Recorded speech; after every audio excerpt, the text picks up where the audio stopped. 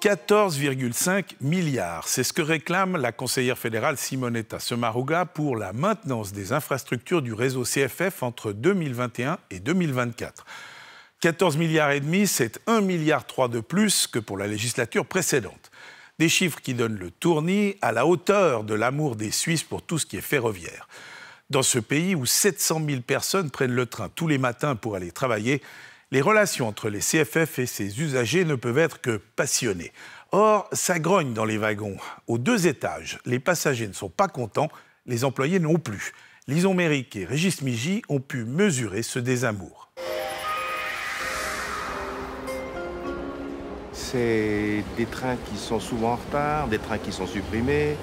Euh, des trains qui sont bondés. Tout le monde tire un peu la gueule. Enfin, le matin aussi, tout le monde est un peu énervé, tout le monde est un peu euh, dans son monde. Et puis, quand les trains sont bondés, c'est encore pire. Mais c'est ça un problème, je pense.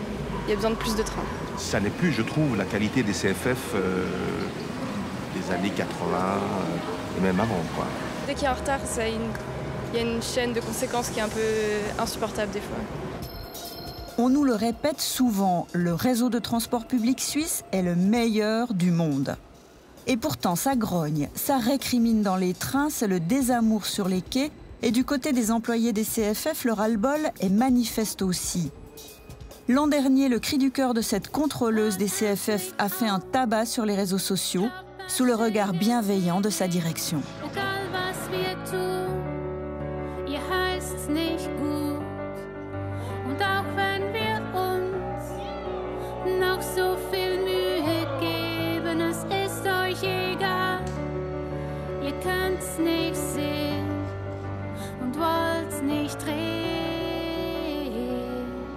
Trouvez que les, usagers qui se plaignent euh, sont un peu des enfants gâtés?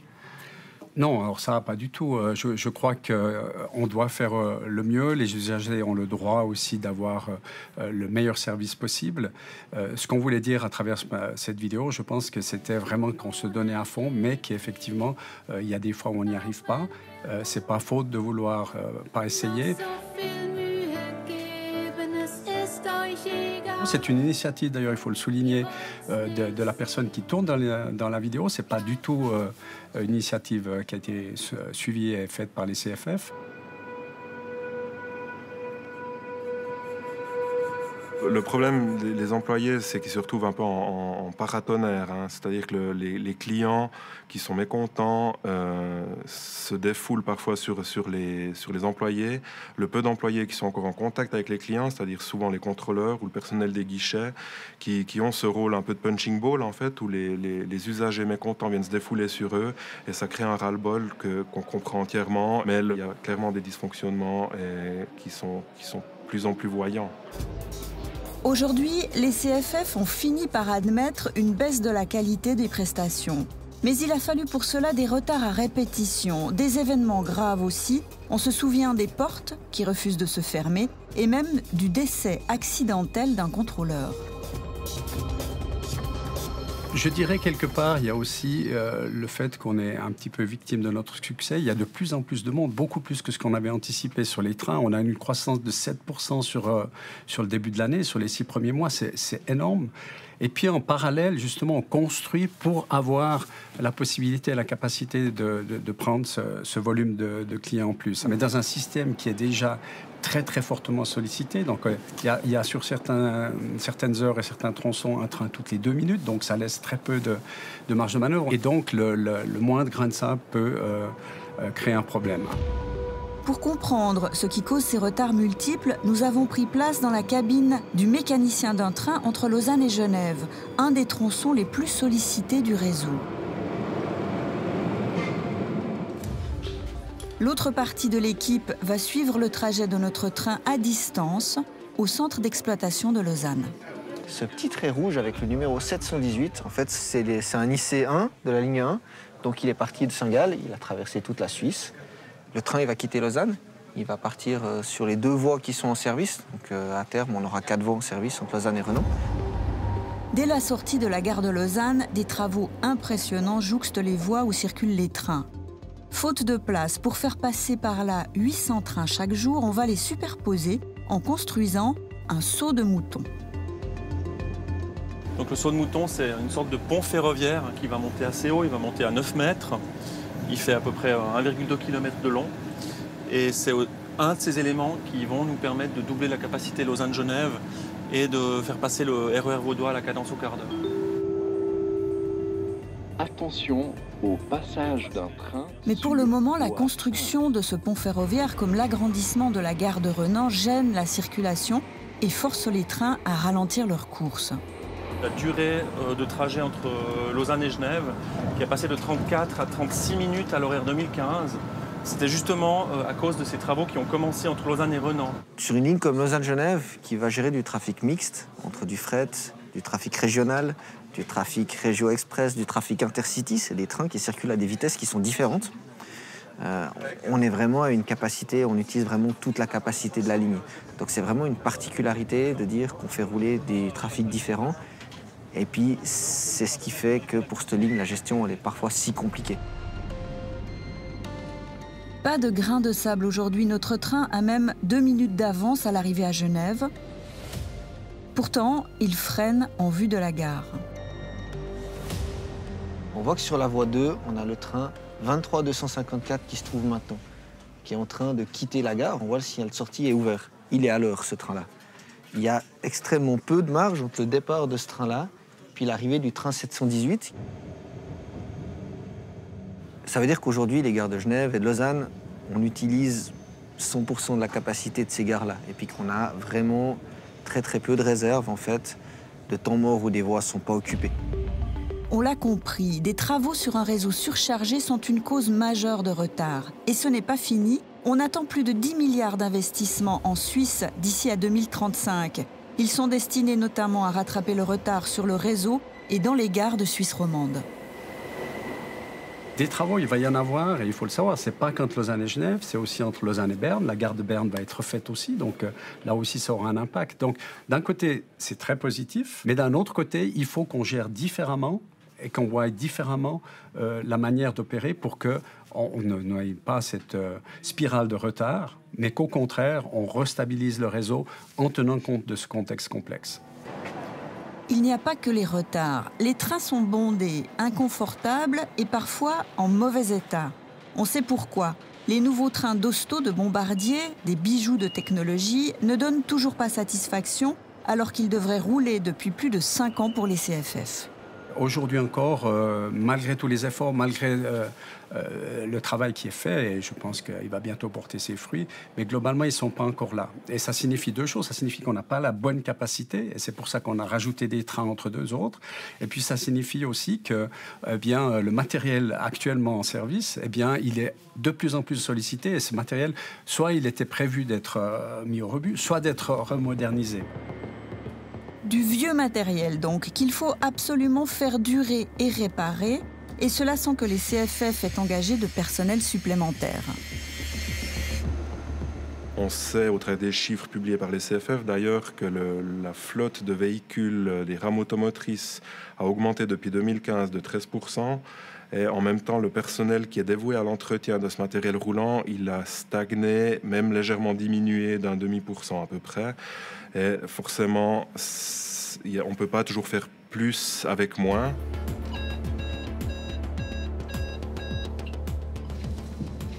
Ouais, Charles 30 pour Fred, euh, Charles 3.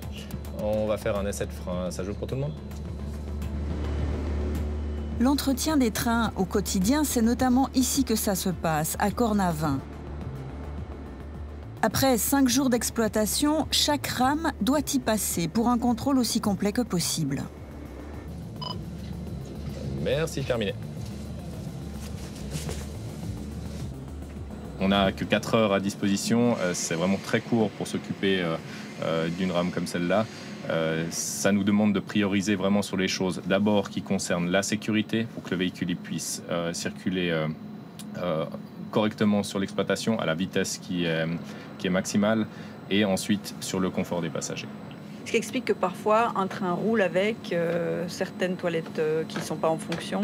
Exactement, un toilette qui n'est pas en fonction. Surtout sur ce type de véhicule, on a un seul WC. Donc euh, là, tout de suite, ça se fait ressentir pour, pour le, le, voyageur. Et un exemple aussi qui concerne le confort, c'est la climatisation. c'est quelque chose qui n'empêche pas le véhicule de rouler, mais par contre qui incommode clairement le voyageur. Autre source d'exaspération des usagers, l'information lacunaire ou contradictoire dans les trains comme dans les gares en cas de grosses perturbations. Alors sur ce point-là, je, reconnais qu'on n'est pas bon euh, et on a eu euh, euh, des grandes discussions en interne. C'est sûr que c'est un sujet complexe, l'information. Un sujet complexe que les CFF avaient automatisé. Disparu les voies historiques des grandes gares suisses, remplacées par ces annonces préenregistrées est totalement impersonnel.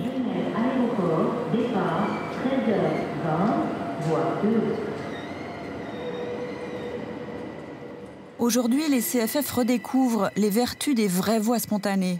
Et c'est le retour des speakerines. Sur voie 2, personne ne monte, s'il vous plaît. Ce train reste à Genève. Sur voie 2, personne ne monte, s'il vous plaît. Merci.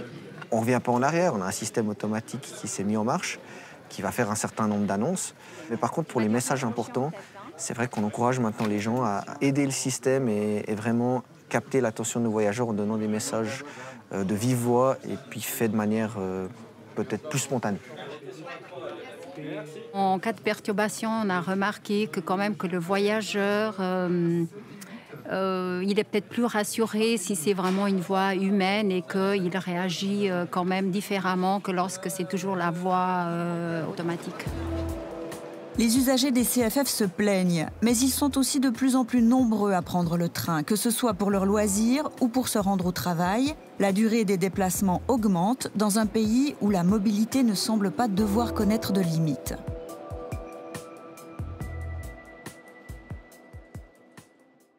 Olivier Français, bonsoir. Bonsoir. Vous êtes euh, en duplex euh, à Berne, vous êtes membre de la commission des transports du Conseil des États, avant vous étiez à la commission des transports du National, donc c'est vraiment un thème qui vous intéresse depuis de nombreuses années. Euh, on vient de voir la situation en Suisse romande des CFF, c'est pas brillant, il y a les retards, il y a les travaux, il y a le mécontentement général. Vous, ce que vous dites, Olivier Français, c'est qu'en fait, toutes les régions suisses ne sont pas traitées exactement à la même enseigne. C'est juste? Disons que sous l'ère d'un conseiller fédéral de, l'époque, euh, on a privilégié un axe, et plus particulièrement l'axe Berne-Zurich, voire les alentours de Zurich et les grands centres urbains, voire de Bâle. Et nous avons été euh, en tout cas négligés et on le paye très cher. Vous avez vraiment le sentiment que les romans sont désavantagés aujourd'hui? Oui, puisque le directeur actuel dit qu'on investit beaucoup en Suisse romande. On investit beaucoup en ce moment en Suisse romande parce qu'on rattrape le retard euh, de l'entretien des infrastructures, voire des compléments nécessaires pour accueillir euh, tous les nombreux trains que, nous avons maintenant et que nous avons demandés. Donc tout ça a, des conséquences directes euh, tout simplement sur euh, l'exploitation.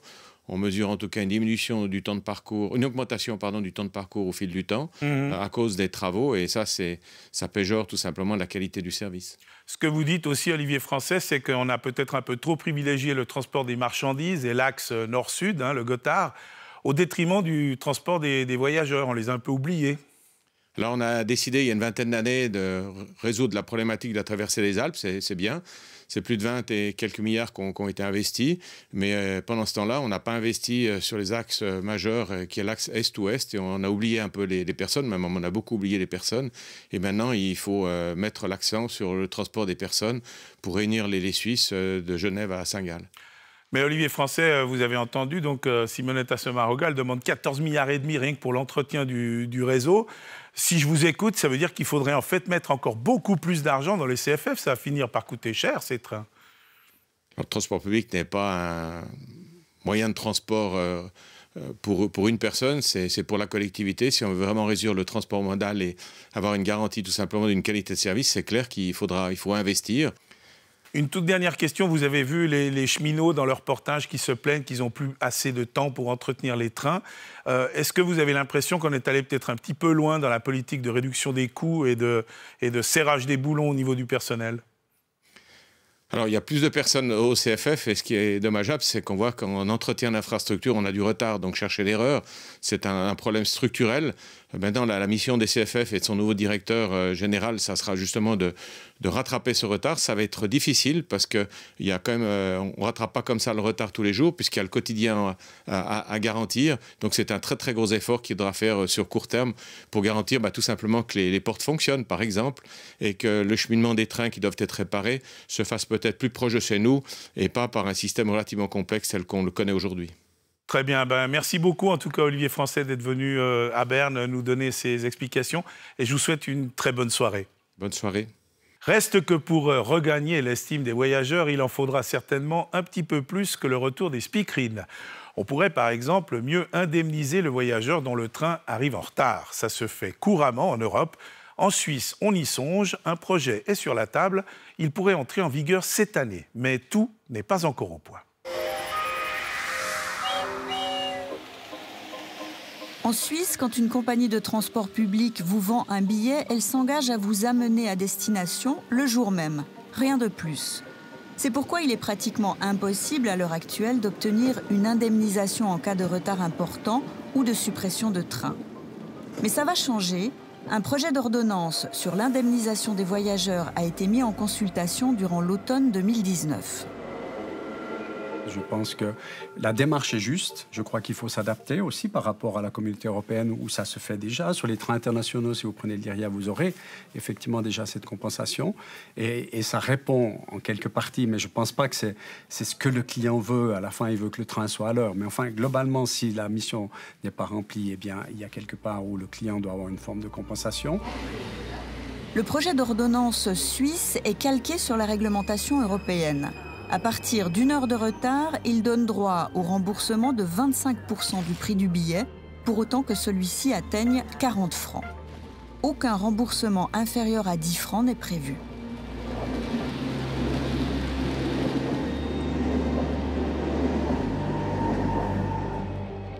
Alors voyons qui pourra obtenir une indemnisation en cas de retard de plus de 60 minutes.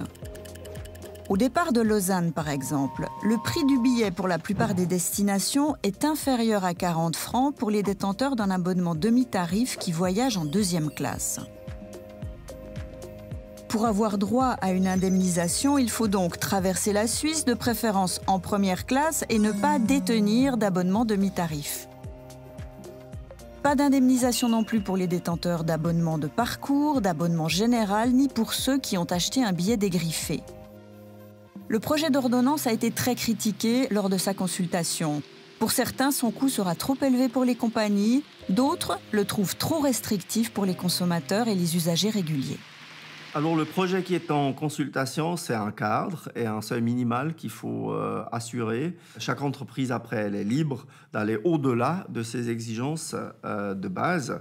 Et je crois que quand on regarde un peu outre-frontières, euh, on a trouvé, soit en France, soit en Allemagne, euh, des modes et des méthodes qui sont plus euh, favorables aux consommateurs et j'espère que cela va se produire aussi en Suisse. Nous, on a toujours euh, dit on va aller au-delà de cela. Donc, on parle d'une heure. Nous, on a dit on fera à partir d'une demi-heure. On, on, veut faire un peu plus et être sûr que tout le monde soit bien traité. La nouvelle ordonnance devrait entrer en vigueur au deuxième semestre 2020. Et puis, si vous aimez l'univers fascinant des trains miniatures, courez visiter Kaiserberg, le très beau musée des chemins de fer à Grange-Paco, près de Fribourg. C'est là que notre équipe a tourné ces belles images de maquettes et de trains en modèle réduit.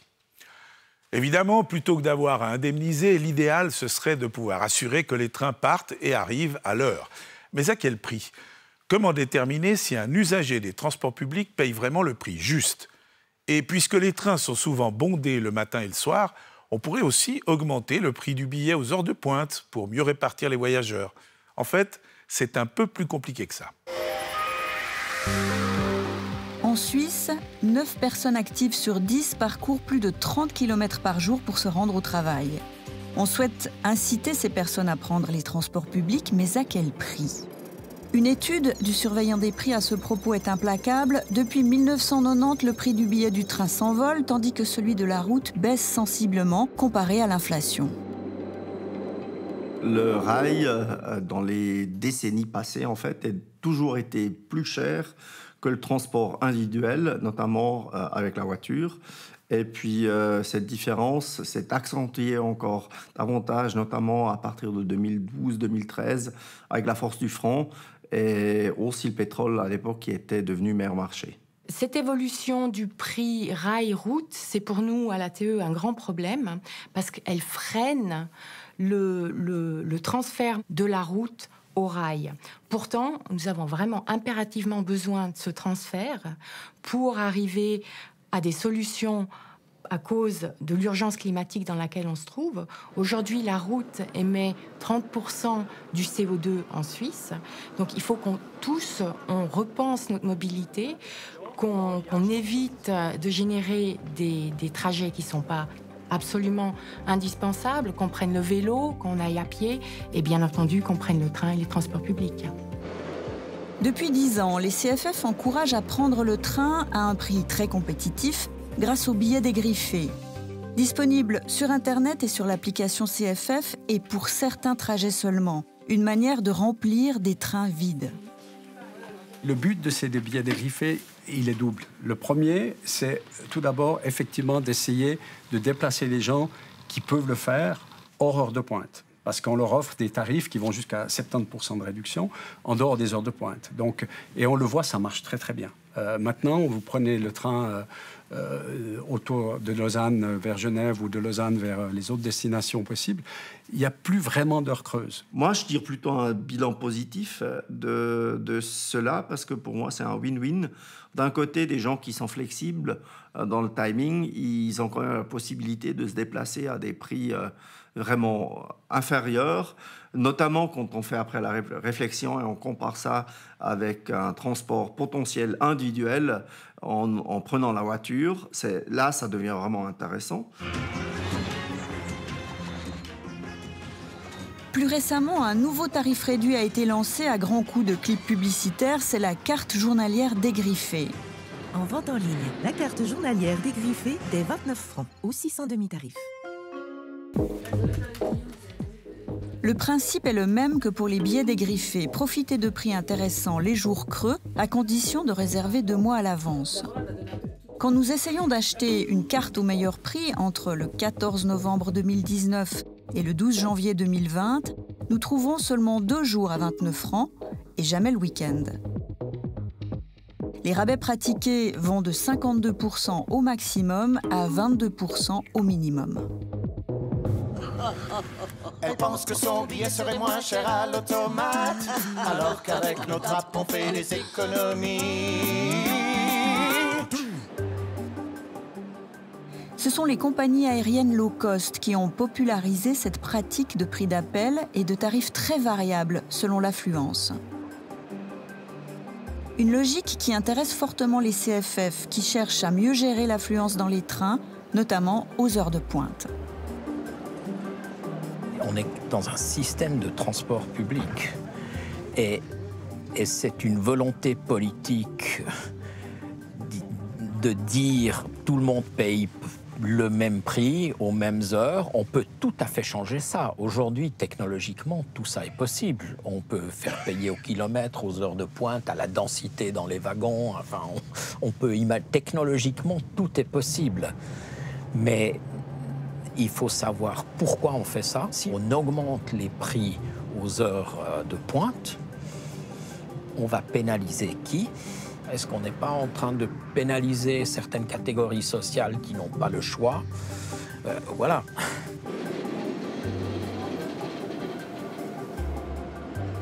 J'ai toujours défendu euh, qu'il ne faut pas pénaliser des gens qui sont des clients captifs. Quand quelqu'un doit se rendre à, l'école, à l'université ou à son place de travail, il ne il faut pas encore le pénaliser euh, quand, il est, quand il est forcé à, à utiliser les transports publics dans ces heures. Faire payer le train plus cher aux heures de pointe, ce serait une révolution culturelle. Ce choix signifierait l'arrêt de mort de l'abonnement général. Il existe depuis 1898 et donne l'accès à presque tous les transports publics suisses. Ce sésame serait-il désuet? Pas pour le surveillant des prix.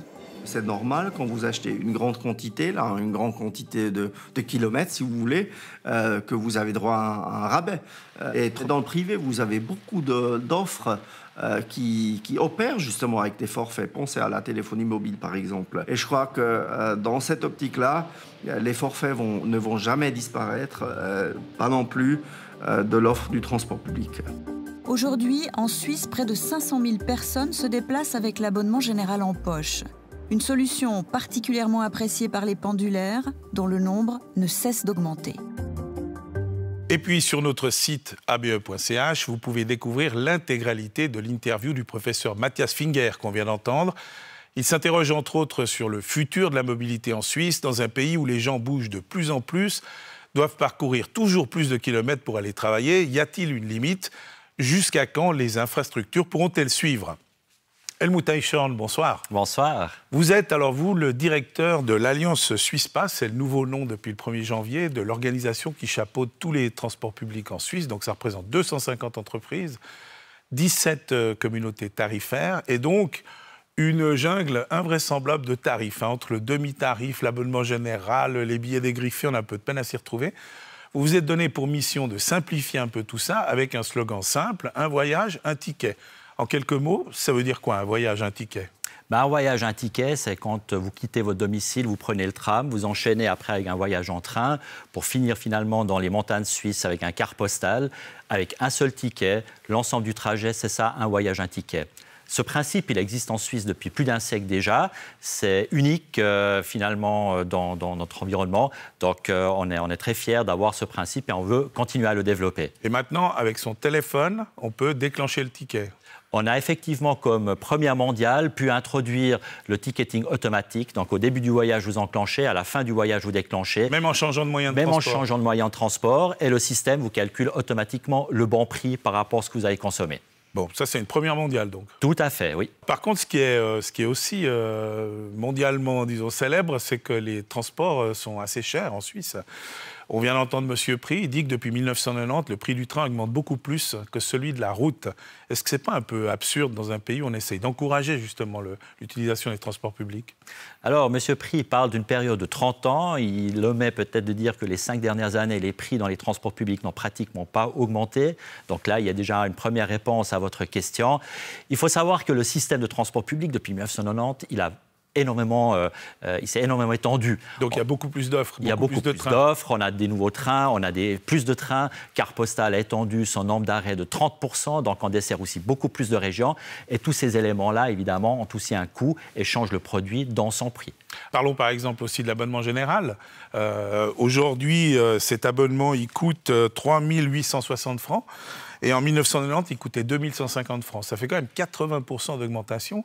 Alors vous, je ne sais pas, mais moi, mon salaire, il n'a pas augmenté de 80% en, 30 ans.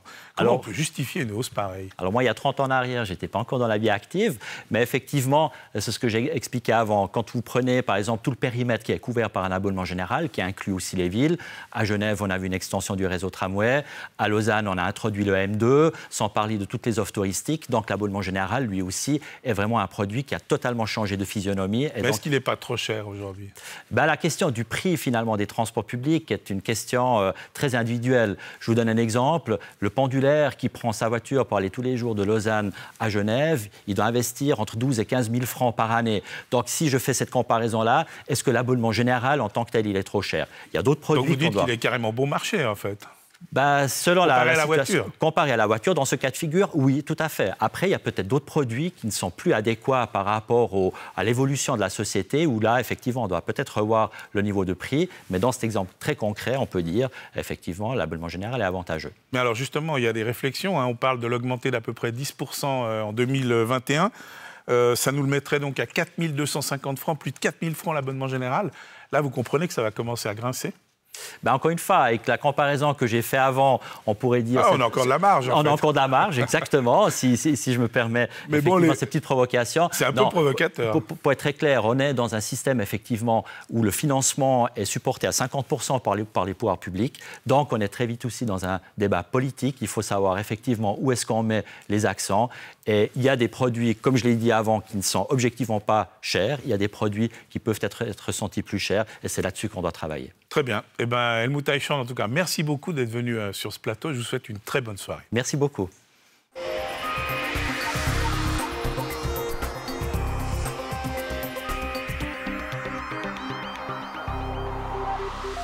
Après les vacances, les enfants ont repris le chemin de l'école.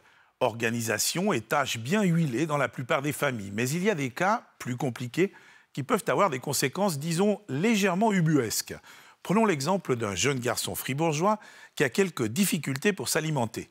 Toute l'histoire, un brin surréaliste, tourne autour d'un appareil ménager bien connu. Roland Tillmans. Voilà la solution. Un four à micro-ondes, même vieux, c'est simple, pratique. On y enfourne un tupperware et on réchauffe le plat. Il manque juste une prise électrique, mais ça, ça doit pouvoir se trouver. Le micro-ondes serait en effet bien utile à Kylian, qui a un sérieux problème. J'ai un gâteau aux épinards. Mais ça, c'est le seul gâteau qu'il mange. Ben, en fait, Kylian, il a des phobies alimentaires.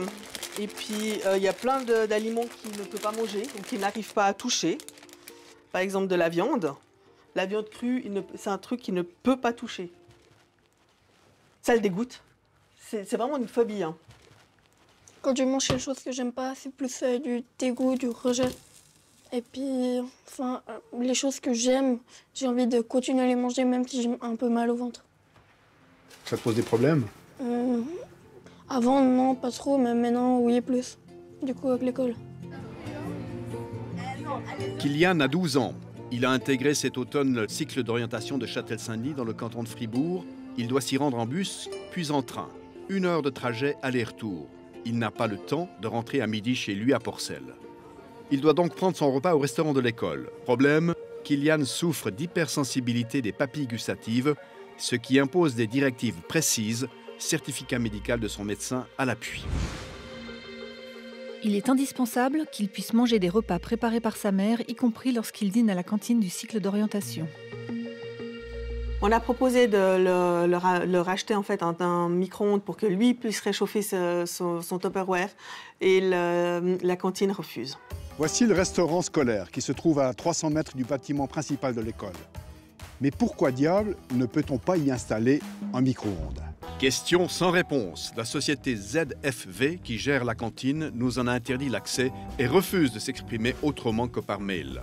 Ce n'est pas possible car les pique-niques sont interdits. En l'occurrence, il ne s'agit pas de pique-nique, mais de réchauffer un plat au micro-ondes. En outre, le branchement d'équipements appartenant à des tiers tels que micro-ondes ou frigo n'est pas toléré. Point barre. D'ailleurs, le problème de Kylian ne semble pas concerner la société censée nourrir les élèves de l'école. Nous ne sommes pas confrontés à ces cas particuliers car les parents trouvent par eux-mêmes des solutions. Et la direction de l'école, qu'en dit-elle Après tout, c'est elle qui est responsable de l'accueil de ses élèves. Voici l'école derrière moi. Il doit bien avoir dans ce bâtiment flambant neuf un espace pour un micro-ondes. Question sans réponse, là aussi, la direction nous renvoie au château chez monsieur le préfet qui est aussi président du comité de l'association des communes et à ce titre responsable de l'accueil extrascolaire des élèves. Et un micro-ondes pour un élève, ça ne s'est jamais vu jusqu'ici.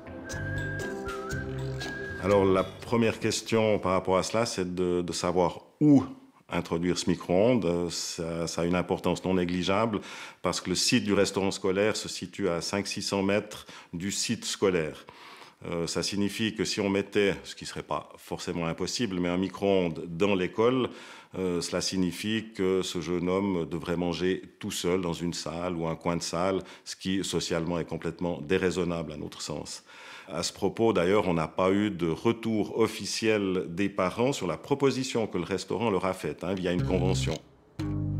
La société qui gère le restaurant a effectivement fait une proposition aux parents sous la forme d'une convention qu'ils devraient signer. Mais cette convention ressemble pour les parents à un véritable parcours du combattant. Selon ce document, le parent devrait se déplacer chaque matin de son domicile à Porcel jusqu'au restaurant de l'école à Châtel-Saint-Denis. Et ce n'est pas tout. Il doit présenter le repas cuisiné à domicile qui aura été déposé dans un récipient muni d'un couvercle résistant au micro-ondes. Le repas de Kylian est présenté à la chef de cuisine qui le fait ouvrir par la maman. La chef de cuisine prend la température du repas et consigne le résultat par écrit. Si la température dépasse 5 degrés, le repas sera refusé. Le parent valide le document par sa signature. La convention stipule aussi que le parent devrait extraire un échantillon de chaque aliment avec ses propres ustensiles qu'il n'aura pas oublié de prendre à son domicile. L'ensemble des échantillons doit représenter un poids total de 60 grammes. Les échantillons sont ensuite déposés dans un récipient à usage unique avec couvercle fourni par l'entreprise. Le récipient sera ensuite fermé et scellé avec une bande adhésive, puis daté et signé par les parents. Le repas sera entreposé en chambre froide par l'entreprise jusqu'à midi. À l'heure du repas, c'est Kylian qui devrait se rendre en cuisine. La chef avance le récipient. Le garçon doit s'assurer qu'il est bien scellé. Après le feu vert de Kylian, la chef de cuisine place le récipient dans le micro-ondes sans l'ouvrir. Kylian récupère le récipient et le verse dans une assiette fournie avec le plateau service. Encore une chose, Si l'on devait constater une contamination due à la nourriture apportée par les parents, ils en assumeraient les conséquences. dernier point. Le prix par menu réchauffé sera de 7 francs 50. Et pourquoi vous n'allez pas la signer? Parce que je trouve que me demander 7 francs 50 pour réchauffer mon Tupperware, euh, alors que les, les, les plats là-bas sont à 8 francs 50, c'est alors que c'est moi qui cuisine, c'est quand même exagéré. Vous êtes optimiste, vous pensez qu'il y aura une issue quand même Alors j'espère qu'il y aura une issue, je suis optimiste parce que c'est dans ma nature. Par contre, je mentionne quand même que cette affaire, qui est importante, hein, je comprends le, le désarroi des parents, mais a quand même pris déjà énormément de temps à beaucoup de gens. Encore une fois, je ne veux pas dire que c'est, anodin pour eux, je le comprends tout à fait, mais j'ai bon espoir qu'on trouve une solution euh, afin d'éviter d'envenimer cette situation. Pour l'heure, les parents ont trouvé une solution provisoire. Kylian se rend à midi chez une dame de Châtel-Saint-Denis qui a accepté de l'accueillir et de réchauffer dans son micro-ondes le Tupperware préparé par la maman. Mais à long terme, il faudra trouver une autre solution définitive. La partie ne fait que commencer. Quelques jours seulement après notre tournage, tiens, tiens, l'entreprise qui gère le restaurant de l'école a réécrit à la famille de Kylian pour lui proposer une solution beaucoup plus simple. Tellement plus simple d'ailleurs qu'on se demande pourquoi on n'y a pas pensé avant. Ça aurait quand même évité pas mal de désagréments.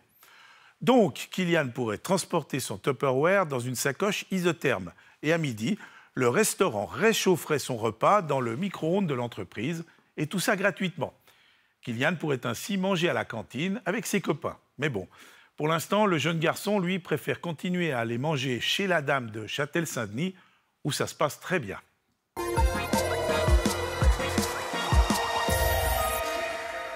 Si vous suivez régulièrement cette émission, vous le savez bien, le monde merveilleux de la consommation moderne recèle d'innombrables pièges. Pour mieux comprendre certains cas, pas toujours simples, nous collaborons désormais avec la faculté de droit de l'Université de Lausanne. Des étudiants en droit se penchent sur vos problèmes et vous proposent des solutions. Madame Leuthold habite à Steffa, près de Zurich, et elle nous a écrit pour nous parler d'une histoire qui l'empoisonne depuis des années.